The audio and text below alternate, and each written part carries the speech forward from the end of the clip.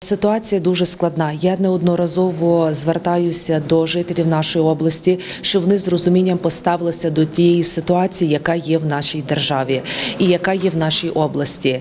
Е, Ми мали ракетні удари 10 і 19 жовтня.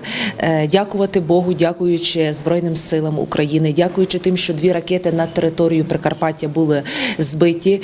В останні періоди ми не мали ракетних ударів, але е, були ракетні удари в сусідніх областях, в інших, і саме ракетні удари були спрямовані на енергосистему, оскільки ми є частиночка енергосистеми, тому е, вона дає збої. І відповідно наші енергетики максимально працюють для того, щоб всі мали світло в кожному будинку, в кожній оселі.